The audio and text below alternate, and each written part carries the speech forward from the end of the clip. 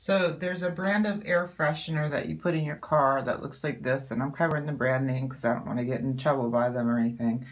Uh, but you get it, it's one of those chemical smelling ones, and you clip this part onto the air vent in your car. Um, only I don't really like those chemical smells that much, so I what I did was I bought this and I took it apart, which it's meant to be opened this way because it's um shoot because it's it's replaceable. So what you do is you just flip it open along this top part. Uh, I'm gonna do that off camera quick. See it opens like that.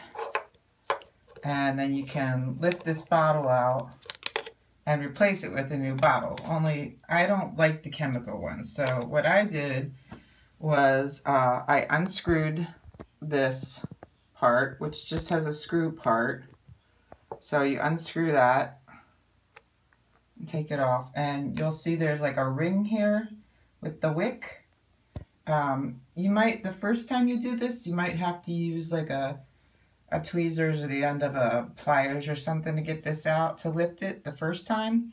Um, now that I've done it a few times, it's not that big a deal, and you just, you'll pull this off and you probably want to wear some kind of gloves or stuff like that because the chemical stuff is sicky sweet and it will make your skin smell even if you wash your hands a million times. So what I did then was I cleaned the screw tab, the bottle, um, by soaking them in rubbing alcohol.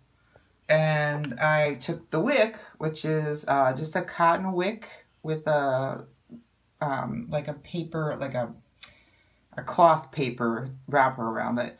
I just dropped this in a small bowl with uh, some rubbing alcohol and I let it soak for a while till this part looked white again because when you first take it out it's going to be whatever color is the chemical stuff so if it's blue or yellow whatever it's going to come out that way um, then once you've soaked these and scrubbed them and this is soaked and all the colors come out, you can just lay this aside till it dries and you'll feel that it's squishy again and the paper is, is clean so that it will be able to wick. Um, and then what I did was I just took uh, some essential oils I had and some droppers like these, which you can get for a couple bucks or like a hundred, uh, you know, the, the pipettes, the cheap plastic pipettes you can spend a couple bucks and get like a hundred of them. Um, and you use a different one for each oil, obviously, so you don't uh, contaminate from one oil to another.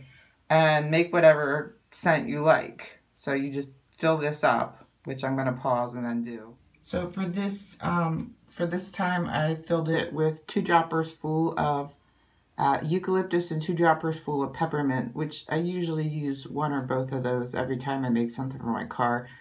It makes your car smell fresher, and I have allergies, so it helps clear my sinuses too.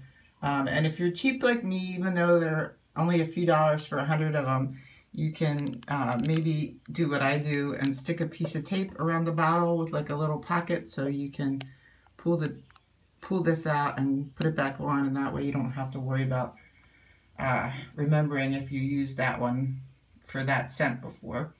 So once you've filled the bottle, then you're going to take, sorry, I keep getting out of focus. I'm not used to doing videos. You take the wick that's been dry, make sure it's dry, and that it doesn't feel like it's still like oily or whatever. And you're just going to stick it back in so that that little thing is the whole way down. And the wick should be touching the bottom of the bottle.